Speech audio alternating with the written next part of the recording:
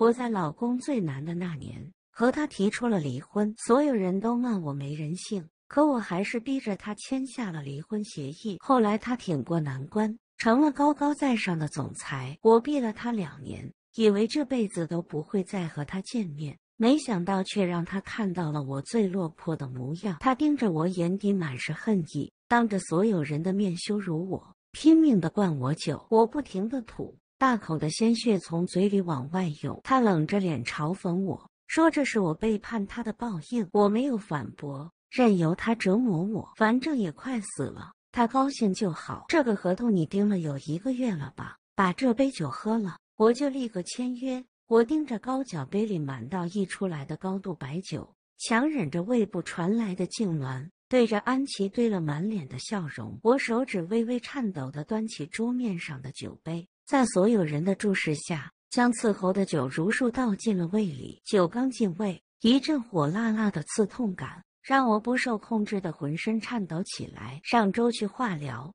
医生强烈要求我住院治疗了。他说，如果我不听医嘱，就凭我病情恶化的速度，随时可能死亡。我拔掉身上所有的仪器，在医生歇斯底里的喊叫声中离开了医院，就差这最后一单。签了这单，我就真的没有遗憾了。我捏着拳头，死死地咬住牙关，拿出公文包里的合同，翻到签字的页面，恭敬地放在安琪面前，并且将签字笔打开，九十度鞠躬递给安琪。安总，安琪接过我手里的签字笔，拿着合同，皱着眉头，前前后后将合同翻了好几遍。见状，我犹豫着要不要张嘴解释，安琪却不小心将合同掉在了地上。我对着安琪狗腿子的笑着，弯腰去捡地上的合同，他却将高跟鞋踩在了上面。他仰着头，脸上带着一丝羞涩和得意。君如闻言，我捏着合同一角的手紧了紧。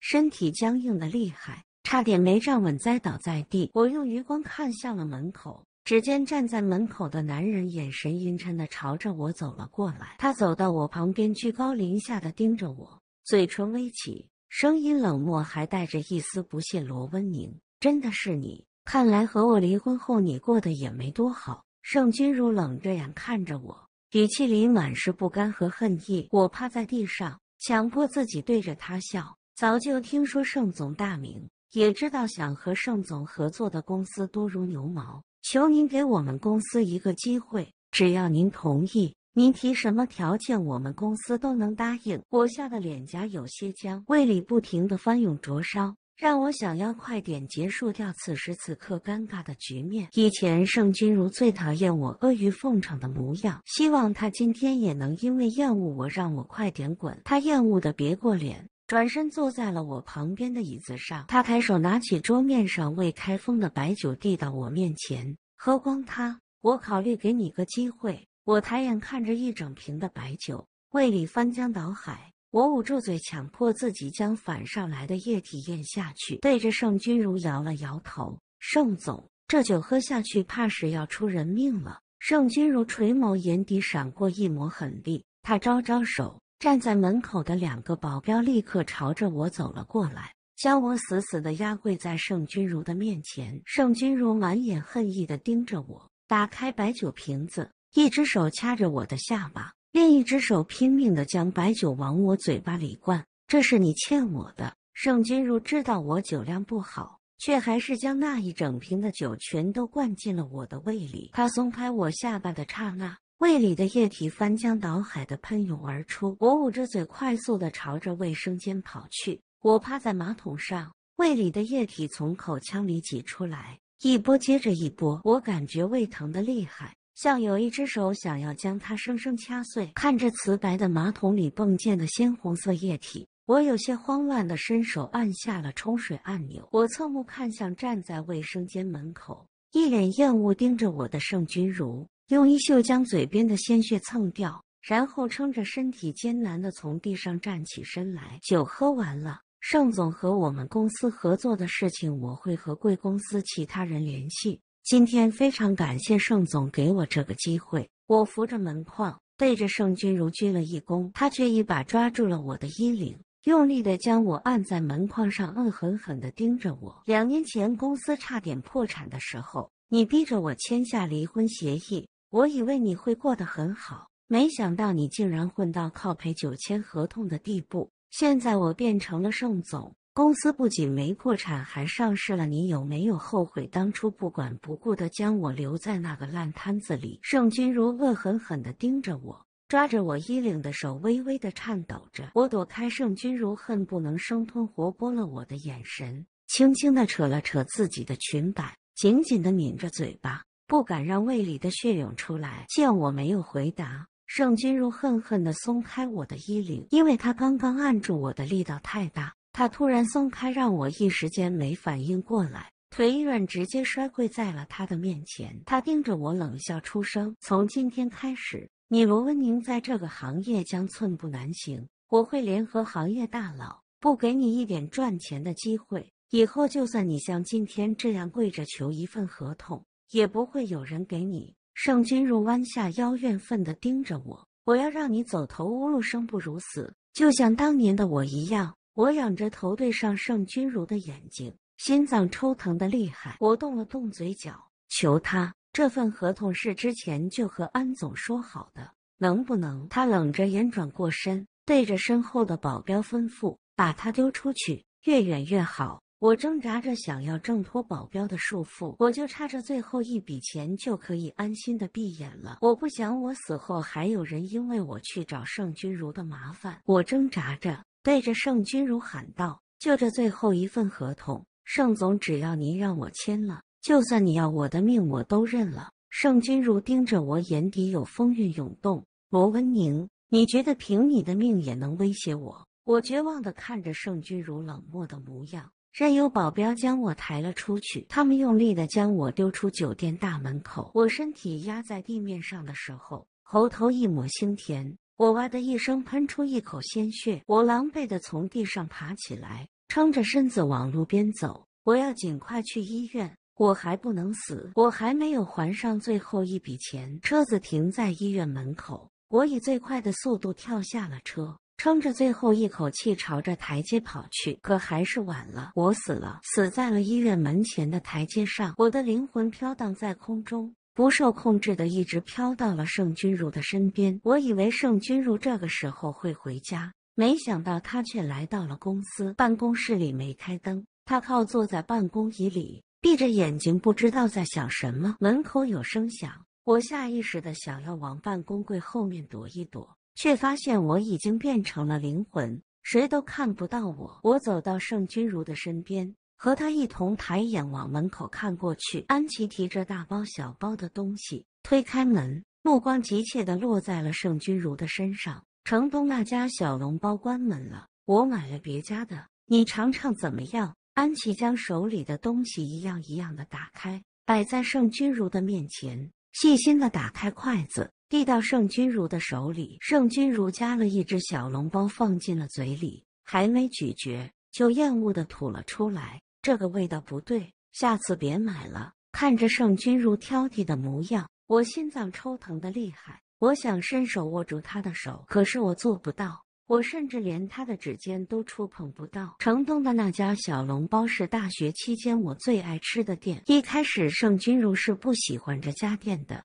是我整天拉着他的手撒娇，求着他陪我去吃。吃的久了，盛君如也就跟着我的口味爱上了这家的小笼包。最近这几年开店的夫妻年纪大了，身体不好，每天只售卖五十笼，去晚了就没有了。我嘴巴馋又爱赖床，每次央求着盛君如第二天陪我去吃。第二天我都会睡过头，可是每次盛君如都会将热腾腾的小笼包送到我嘴边。我知道。那是他三四点钟去排队给我买回来的。那时候看着盛君如的样子，我就在心里发誓要和他幸福一辈子。可是后来公司出了问题，为了保全他，我只能逼他和我离婚。离婚后，我倒是能早起排队了，可是自己排队买的好像味道都不一样了。这小笼包有什么区别？为什么你只吃城东那家的？安琪有些不悦的将筷子放在了桌子上。虽然他已经极力控制了，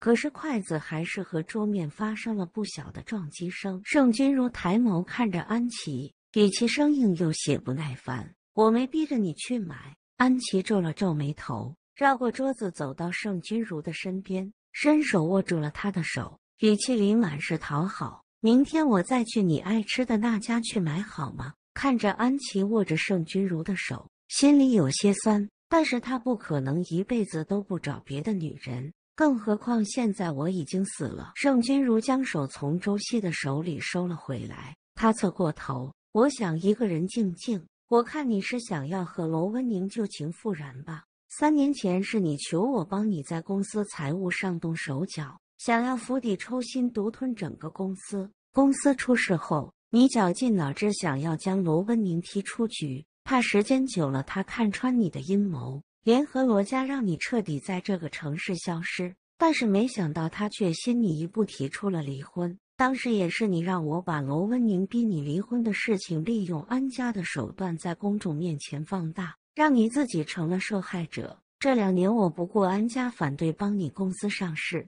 你说只要公司上市，你会娶我？难道你想反悔吗？你要知道，我既然能将你拖到如今的位置，我也能让你摔得粉身碎骨。安琪满眼威胁的盯着盛君如，一双眼仿佛要将他看穿。我震惊的盯着盛君如，这两年坚持的所有，仿佛在这一瞬间都崩塌了。我焦急的在盛君如的身边打转，希望他解释清楚，告诉我安琪说的不对。告诉我，他根本没做过那样的事情。可是盛君如却伸手搂住了安琪的腰，眼神暧昧，语气讨好。我怎么可能想反悔？看着两个人轻车熟路的样子，我发狂的抱着头，想要立刻离开这里。我愤怒的朝着门口走去，却被一阵光挡了回来。我绝望的坐在地上，听着身后两人暧昧的对话。不受控制的用手捶打着自己的心脏，可是我感受不到痛，我甚至根本感受不到心脏的存在。我用手堵住耳朵，不想听他们两个令人作呕的声音，可是我做不到。不论我怎么样，那声音我都听得到。我靠坐在角落里，脑海里不停涌进和盛君如的过往。我是罗家的私生女，我出生的时候，我妈因为难产死了。这些年，罗家对我极其苛刻。外界的人甚至不知道罗家还有我这个女儿。从小我就知道罗家不会给我任何帮助。我想要过得好，只能靠我自己。大学刚毕业，我就想好了出路。当时我盯上了自媒体这个新兴行业。我和盛君如探讨过这方面的未来，他也觉得可以赌一把。于是我们一毕业里就决定创业。我们拿着两个人身上凑出来的所有钱。在学校附近租了出租屋，开始最初的创业。那时候网上拍段子很火，我们就跟着拍。盛君如的文笔好，脑子比我灵活，所以写剧本、做创意和幕后都是他来弄，我负责露脸表演。每天焦虑不安的拍段子，却没什么粉丝。坚持了两个多月，我们身上的钱彻底花光了。房东将我们全部的行李都丢了出去，让我们滚。我和盛君如拎着行李。摸着口袋里仅剩的五块钱，决定吃饱了再拍一个视频就结束所谓的创业，安心的找个班上。我们拍的是连续剧，最后这个段子我们直接写到了结局，打算有始有终。没想到之前的一个视频毫无预兆的火了，观看量上亿。那天晚上，我和盛君如在天桥底下，一人手里抓着一包袋装泡面，兴奋的不停的尖叫，流量好起来了。粉丝也疯狂的增加，我和盛君如借着这波流量接了广告，又带货赚钱。大学毕业的第五年，我们的员工就有一百多人，实现了财富自由。我们将工作室变成了公司，公司的市值高达十几个亿。后，我们打算将公司上市，一切准备都做好了。没想到公司财务却出了问题，资金链断裂，广告商撤资，一夜之间所有好运都没了。我看着公司里漏洞百出的账本，看着脸色比我还要难看的盛君如，将到了嘴边难听的话咽了回去。我劝自己，盛君如不是学金融的，账目有问题，他看不出来很正常。人这一辈子运气有好有坏也算正常，只要人健康的活着，就有东山再起的可能。可谁知道紧接着我就被查出了胃癌中期，医生说中期治愈的希望很大。让我不要放弃。看着公司烂得一塌糊涂的账本，盯着一天八百条催还欠款的短信，还有罗家接二连三逼我交出公司所有股份，我心一横，将所有债务都揽到了自己身上，逼着盛君如和我离婚。这两年为了还钱，我不顾一切的拼命赚钱，哪怕明知道自己快不行了，还是想着有始有终，还完欠下的所有欠款。我受尽的折磨和苦难，竟然是盛君如设的局。我抬头看着办公桌上一脸满足的两个人。恶心的想要将他们撕碎。安琪搂着的盛君如脖梗。我们婚礼的时候，我想让罗温宁来。安琪的话还没说完，就被盛君如的电话铃声打断。他接通电话，脸色瞬间变得凝重起来，抓着衣服往外面跑。罗温宁怎么可能死了？夜里的太平间灯光昏暗，阴森森的，让人一踏进去就下意识的害怕紧张。盛君如因为来的匆忙，衬衫是在路上穿的。纽扣还系错了两颗，头发虽然在路上整理过了，可是看上去还是糟糕又凌乱。他站在我的尸体旁边，垂着眉头，一声不出，不知道在想什么。我站在他旁边，目光落在了躺在床上、脸色惨白、浑身是血却没了生气的自己。我死的时候应该是脸撞在了楼梯上，所以脸上带着新的伤疤，伤疤处的血迹已经干涸了。我嫌弃的皱了皱眉头。这个应秀就不能给点临终关怀，帮我擦擦脸？想想我又叹了口气。这两年儿的治疗，我已经欠了应秀不少钱了。我本来想把欠款都还完后，再努力赚一笔还给他。应秀也是倒霉，遇到了我这样的病人。站在我身边一直没动的盛君如，缓慢的往前挪了挪脚步。他盯着我看了好一会儿，突然笑了：“罗文宁，你这是在报复我吗？”我不过就灌了你一瓶酒，你竟然在这里装死吓唬我！你以为我会相信你这么拙劣的演技吗？盛君如将我从床板上一把抓起来，他抓着我的肩膀，目光凶狠的盯着我。罗文宁，我警告你，别在这故弄玄虚。就算你真的死了，我也不会对你心软。这些年，你别以为我不知道你安的什么心。你明面上和罗家划清了界限。其实你背地里早就和罗家人联系了，你就是想把我们的公司当成你回罗家的踏板，所以我才联合安琪对公司的项目动了手脚。公司是我的心血，是唯一能让我跨越阶级翻身的机会，我不可能眼睁睁的看着你将它送给罗家。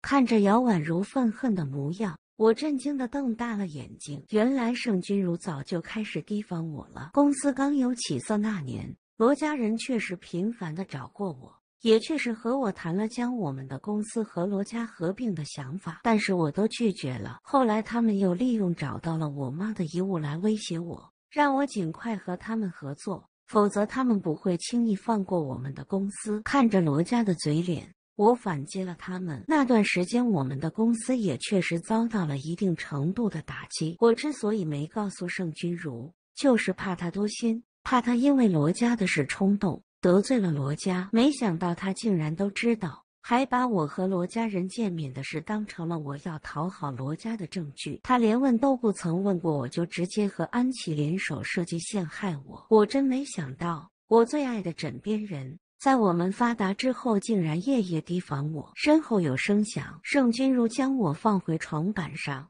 抬手扯了扯衬衫下摆。用余光往身后看了一眼，在看到穿着白大褂的映秀后，他哼了哼，神色复杂的盯着映秀：“你是医生吧？你过来看看，他是不是在装死？”英秀一把甩开盛君如的手，指着我，恶狠狠的盯着他：“我是罗文宁的主治医生，我在罗文宁的体内发现大量的酒精，并联系了公安人员进行了调查。公安人员和酒店的工作人员进行了核实。”罗文宁在死前被人恶意灌过量的酒，导致他突发脑溢血猝死。很快警察就会联系你，到时候希望你还能像现在这样装傻。盛君如的身体微微晃动了一下，他将目光落在了我的身上，深不见底的眼眸闪过一抹慌张，嘴里呢喃：“他怎么可能死呢？”天快亮的时候，我跟着盛君如来到了警察局。一起到的还有安琪和应秀。安琪看到盛君如快速的走到他身边，紧紧的抓住了他的手。他神色有些复杂，但眼底闪过一抹笑意。罗文宁，他真的死了吗？盛君如看着安琪，微微皱了皱眉头，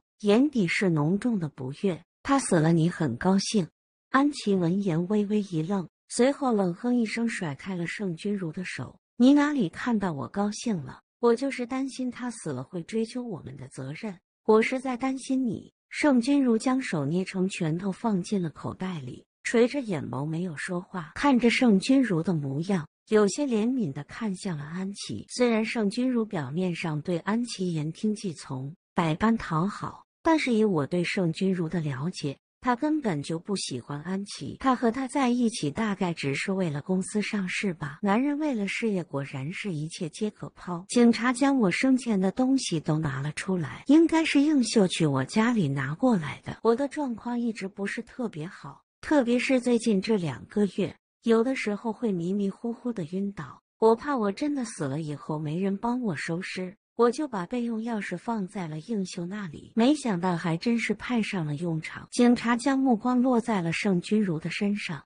罗文宁的前夫。盛君如眉头紧锁的看着警察手里的东西，然后缓缓的点了点头。警察将我用文件袋装的东西递给了盛君如，这是死者生前欠的债务，经过我们调查。这笔债务之前属于夫妻共同债务，后来死者通过手段改到了自己的名下。给你的这份是他最后一笔债务，其他的他都还完了。警察将厚厚一沓转账记录单往前推了推，这里一共的债务是五百六十七万，这是死者生前还的。你看看还有什么问题？盛君如拿着我没还完的账单，盯着桌面上的转账记录，微微一愣。不敢置信的呢喃：“怎么可能？公司的债务我早就还清了，怎么可能需要他还？而且他为什么是一个人在还这些债务？罗家呢？罗家没有帮他吗？”警察皱了皱眉头，在一沓文件里翻找了半天，将我和罗家断绝关系的书面说明和我以个人名义揽下所有债务的声明书找了出来。这些东西都在这了，你看看吧。盛君如捏着拿着文件。脸色难看的要命，他转头盯着安琪，眼底闪过一抹狠绝。这些债务为什么是罗文宁在还？罗文宁离开公司以后，是你说你会把从公司账目里拿走的钱全部还回来？为什么这笔钱要罗文宁来还？安琪被盛君如盯的脸色有些难看，他皱着眉头，垂着，张了张嘴，想要狡辩。英秀厉声打断了他，他冷着眼看着安琪和盛君如。我真是替罗温宁那个傻子感到不值。当年你们公司出现问题，他害怕罗家趁火打劫，为了让你能好好的生活下去，他一个人揽下所有债务和罗家断绝了关系。为了还债，本来还有救的胃癌中期，硬是让他拖到了晚期。上周我求着他住院，他却说要签下最后一份合同，佣金到手就再也没有债务了。他到死都不想让你背上债务。你却说笔债务已经被那个女人还完了，你到底有没有良心？英秀板着脸，脸色难看的盯着盛君如，他脸色阴沉的仿佛能滴出水来。他转头看向安琪，所以这一切都是你在搞鬼，对不对？罗文宁还的这笔钱在哪里？我看着一脸严肃又认真的盛君如，抿了抿嘴角，他能被安琪瞒着这么久，说明他是真的很信任他。只不过安琪这个女人太贪心了。安琪清了清嗓子，拉住了盛君如，眼底闪过一抹慌张。君如，现在不是讨论这件事的时候，我们现在在警察局，这事儿等我回去再和你细说。盛君如甩开安琪的手，脸色阴沉。好，你不告诉我是吧？那我自己查。盛君如垂眸按着电话号码，旁边的安琪一把将他的手机抢了过去。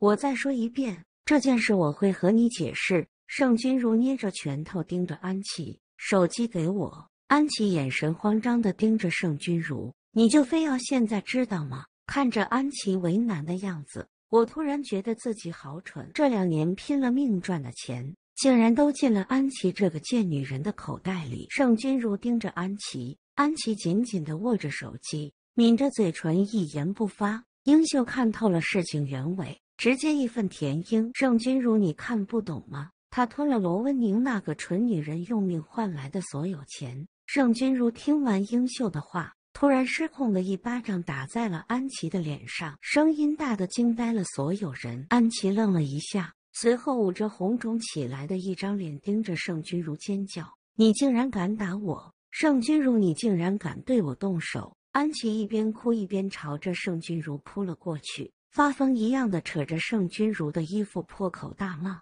是谁求我把罗温宁赶出公司的？你既然狠心将他踢出公司！”那他的死活和你有什么关系？你要是真的关心他，那你为什么要背着他做这种事？盛君如，你就是个不折不扣的王八蛋，坏事做尽还想让别人觉得你好。我实话告诉你，现在的公司也不是你的，他是我们安家的。我得感谢你，明明不善于经营，却还刚愎自用，要不然我也不可能用三年的时间空手套到一个这么大、这么赚钱的公司。站在旁边的警察见状，想要上前拉开两个人。英秀立刻跑了过去，压低声音对警察说：“你们再听听，肯定还有别的事，没准他们公司的税务都有问题。”警察闻言收回了迈出去的腿，看着英秀替我出气的样子，我垂眸勾了勾嘴角。这两年啊，也就他对我这么好了。盛君如被安琪打的怒了，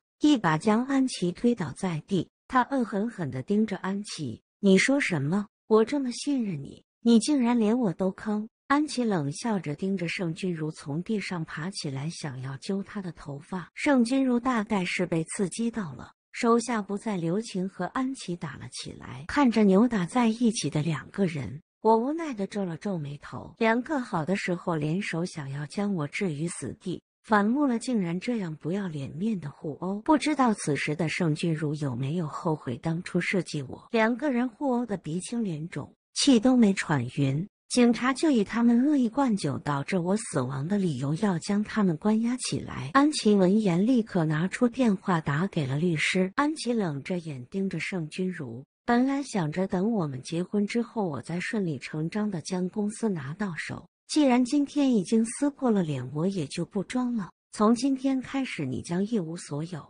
有任何问题可以打电话给我的助理或者律师。盛君如看着安琪被律师带着离开，他站在原地抿着嘴唇，愣神了很久，然后转头看向了应秀：“我不会找律师为我辩解，这是我欠温宁的。我知道我现在说这样的请求很自私，但是我希望你能帮我保留温宁的遗体。”我想再送他最后一程。英秀冷着眼盯着盛君如，我呸！要不是你，罗温宁也不可能死。本来他还能再活些日子，他一个胃癌晚期患者，你们逼着他喝酒，最后急性脑出血死了。你们可真索命的恶鬼！你还想送他最后一程？你不觉得自己晦气吗？我要是你啊，出去之后先和那个贱女人拼个你死我活。他不仅坑了罗温宁。还坑了你，就算是死，你也得拉个垫背的吧？听着英秀的话，我抬手对着他就是一拳。他这个人怎么回事？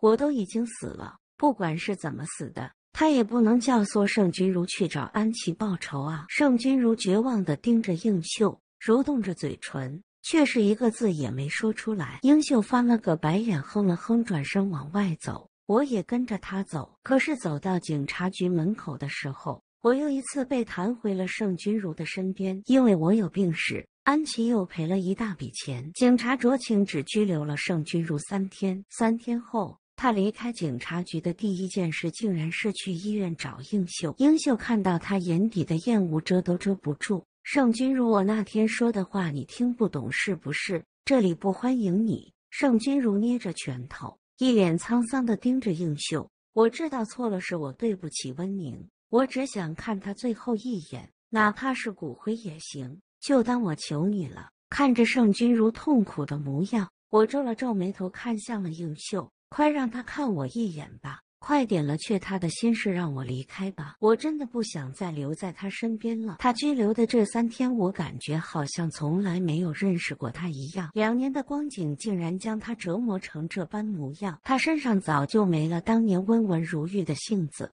相反的，他变得暴躁易怒。我甚至怀疑他可能得了狂躁症。如果我再留在他身边，我早晚会被他吓死。应秀叹了口气，拿着钥匙带着盛君如来到了存我骨灰的地方，去看看吧。看完了记得帮他报仇。盛君如没有说话，径直的朝着我走了过去。英秀见状，摇了摇头，转身离开了。盛君如盯着装着我骨灰的盒子，扑通一声跪了下去。他跪在地上，声音哽咽：“温宁，是我错了，我不应该不信任你，不应该贪心不满足。这两年我和安琪过得很不好，你知道的，我这个人不擅长伪装自己，情绪都写在脸上。我根本就不喜欢安琪。”可是却要讨好他，让他高兴。他脾气大，每次都要和我争个高下。我和安琪每次吵完架，我都会想到你，你从来不会让我为难，每件事你都会站在我的角度着想。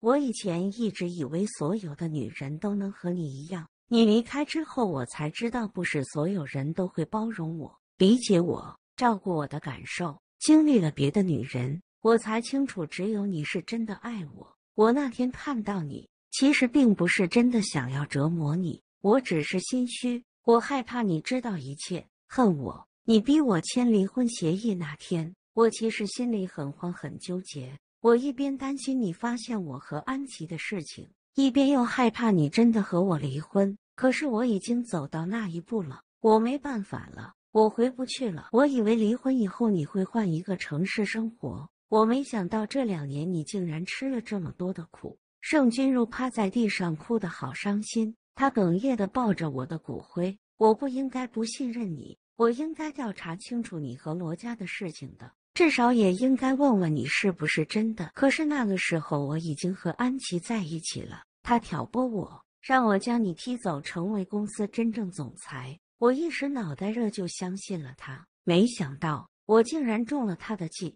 害得你！如果我早一点知道你生病了，我肯定不会那样做的。温宁，我会替你报仇，就算搭上我这条命，我也会帮你报仇。盛君如一边说，一边拿着手机翻看着手机里的各种表格，然后一张一张的导出来做成文档。他将整理好的文档发送到了一个网址。那网址好像是国家税务局。盛君如又说了很多后悔和对不起我的话。看着他的模样，我无奈的摇了摇头。既然当初他决定背叛我，如今再后悔又有什么用呢？天快黑的时候，盛君如才离开。他叫了车，直接到了安琪家。安琪家的大门敞开着，好像就是在等盛君如。安琪冷着眼盯着盛君如，这么快就出来了？看你的样子，应该是住的不舒服吧？洗澡水我帮你准备好了。你要是跪在我面前磕一百个响头求我原谅你，我可以考虑把你当条狗来养着。盛君如冷笑着看向安琪：“你现在高兴的太早了吧？公司最终能落在谁的手里还是未知数。我已经给公司打过电话了，我的股份还在。你所说的公司已经变成你的了，怕是在做梦。”安琪得意的笑了：“我在做梦。”公司的负责人是我，法人是我，所有的股权都在我名下，授权书和转让书都是你亲手签的呢。只不过我还没有公布，公司的那群人当然不清楚。盛君如捏着拳头，恶狠狠地盯着安琪，语气阴狠：“不可能，我从来没签过任何转让合同。”安琪站起身，盯着盛君如笑了：“你记不记得你是怎么骗罗温宁的？他那么信任你。”你随便拿个合同，他看都不看一眼就签了。我也是如法炮制啊！盛君如，你真是没良心啊！罗文宁对你那么好，公司的股份都一人一半，你可真是不知足啊！盛君如愤怒地盯着安琪，浑身颤抖。我要报警！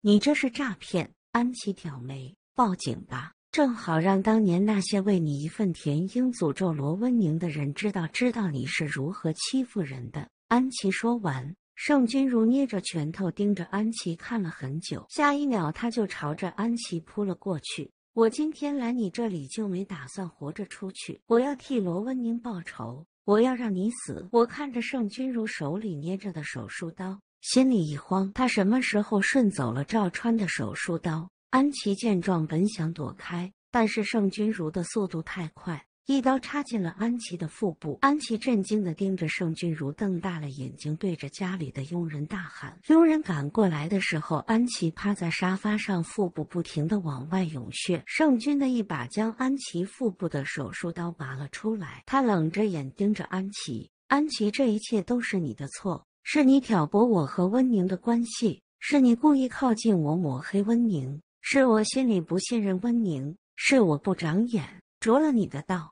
我对不起温宁，你也对不起他。你想让你们安家接手我的公司？盛君如冷笑出声：“你做梦！我已经把公司所有有问题的账目都发到税务局了，我得不到的谁也别想得到。”盛君如仰着头，笑得瘆人又狂妄。他恶狠狠地看着拿着手机报警的佣人，将手术刀插进了自己的胸膛。他跪在地上，垂眸盯着自己的无名指。温宁，我下去和你道歉。下辈子我们还在一起，这次我一定永不变心。盛君如咽气后，我的灵魂突然变得更轻了。我慢慢的向上飘，然后一道金光闪到了我的眼睛。我便彻底消失了。盛君如视角，我家里很穷，一整个村子里只出了我这么一个大学生。我离开村子去上学的路费是村子里的乡亲们一块一块凑出来的。我走那天，我爸妈抓着我的手，告诉我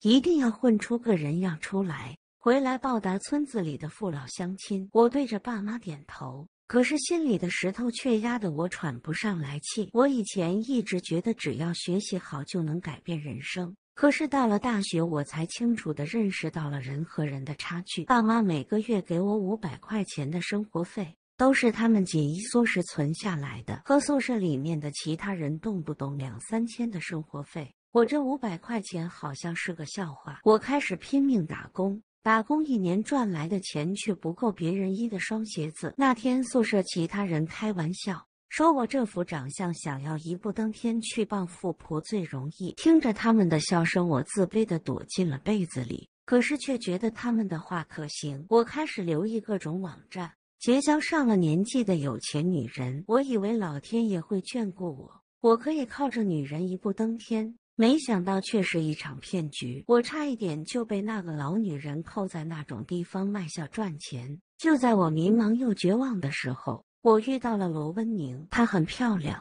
看起来不像有钱人，但是却是我喜欢的类型。我开始更努力的打工，更努力的学习。我想着，如果只能平凡的过一辈子，那我想要个我喜欢的人一起。我和罗温宁在一起以后。我把我所有的温柔都给了他。后来知道她是罗家的私生女后，我动过那种让她认祖归宗的想法。可是每次提到罗家，她都很抗拒，我便再也不敢提了。大学快毕业那年，罗文宁提出了要创业。我听着他对未来的展望和分析，我觉得我可能还有机会成为人上人。我们两个为了拍视频吃了很多的苦。我文笔好，做幕后和剧本的工作。可是为了吸引观众，每天我想剧情想到失眠脱发睡不着。罗文宁更是压力大到晚上偷偷的哭。我们被房东赶出来那天，我就决定好了，找一份工作和罗文宁结婚，过普通人的日子。大概老天爷觉得应该给我一个机会吧。我们的视频爆了，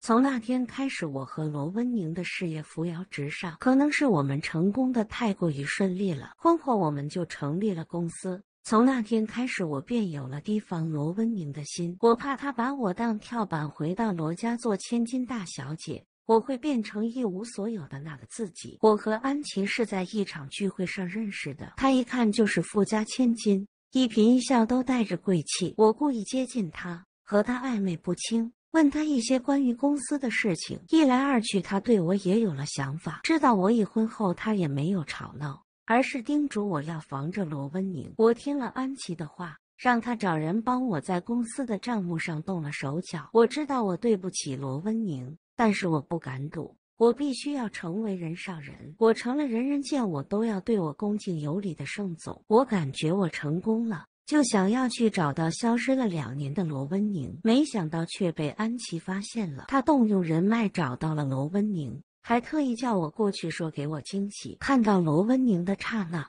我又开心又害怕，但还是按照安琪的意思折磨了他。听到罗温宁死了的消息的瞬间。我感觉脑袋一片空白。我真的没想到他病得那么严重，我甚至不知道安琪还给他设计了那么大个坑。当初他逼我离婚的时候，我还在窃喜，如今却满是悔恨。我不能想象这两年他一个人治病。还债吃了多少苦，我也不能原谅安琪对他做的一切。在拘留的那三天里，我求警察让我打了个电话。电话里我知道安琪偷着将公司转移给他自己的事情后，悲愤又难过，是我活该，逼走了罗温宁，让安琪钻了空子。但这两年我也长了心眼，公司账目明细都在我手里，只要我想，我可以让安琪一无所有。离开公安局后，我去找了应秀。我想再看看罗温宁，我想给他道歉。我抱着他的骨灰哭了很久，拿着偷来的手术刀去找安琪。我来就没打算活着回去，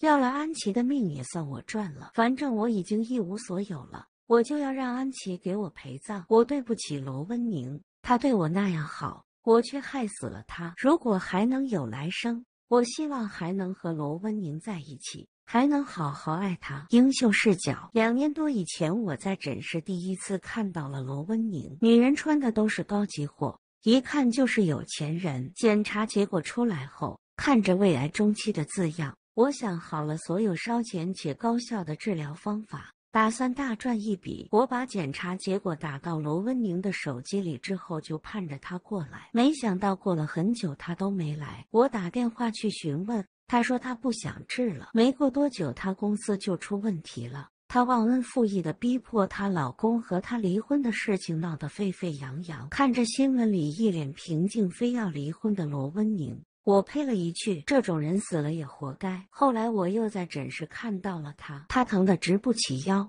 脸色苍白。她求我给她开便宜的止痛药。她还要出去应酬，我说她这种情况还出去应酬，分明就是找死。我劝她好好治疗，治好的希望很大。她不听，他说我不给他开药，他就自己出去买。我给他开了一堆药，他说没钱就要最便宜的。看着罗文宁倔强的模样，我说让他拿回去吃着，钱先欠着。从那以后，他三天两头胃出血来找我救命。了解后才知道，她真是个蠢女人。这两年，我和罗文宁也算是朋友了。我真的心疼她。她死那天，我刚下手术台准备去吃饭，却看到他浑身是血的被担架抬了进来。看着他的模样，我心里咯噔一下。该来的还是来了。我以为他是并发症引发的死亡，没想到是脑出血。我气得恨不能将他打醒。看着他狼狈的模样。我立刻联系了警察介入调查。原本就够生气的，